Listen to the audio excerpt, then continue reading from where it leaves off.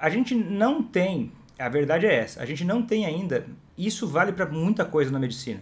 Isso não diminui o valor que tem o nosso conhecimento, mas a gente ainda não tem a precisão exata de como é a doença do alcoolismo, exatamente tudo o que acontece para todas as pessoas. Sim, tem vários, várias características e padrões que acontecem para todos, mas existem algumas pequenas variações dentro disso. Por exemplo, o desenvolvimento do alcoolismo ele tem um jeito de acontecer.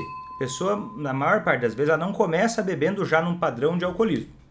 Ela, algumas sim, mas daí outra, a maioria não. Uh, geralmente homens bebem pesado durante alguns anos e aí parece que um padrão, um padrão em degrau. Quer dizer o quê?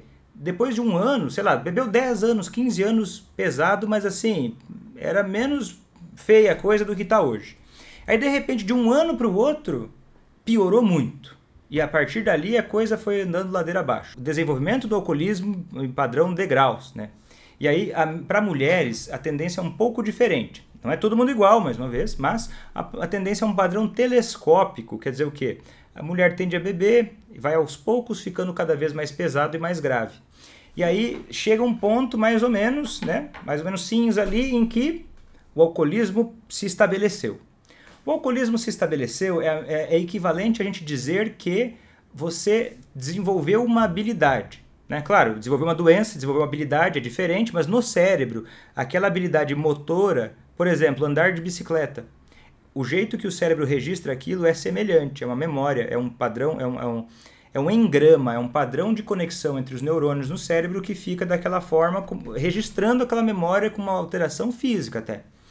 E é um aprendizado procedimental, não declarativo. Ele é exatamente um aprendizado. Só que é um aprendizado doentio. Né? O que acontece? Essa pessoa, a partir do momento que ela desenvolveu o alcoolismo, é como se ela tivesse aprendido a andar de bicicleta. Não se desaprende a andar de bicicleta.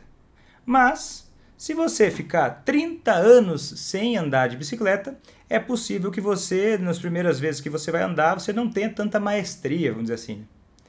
Então pode ser que você leve uma semana, pode ser que você leve um mês para voltar a, a, a, dominar a bicicleta com tranquilidade.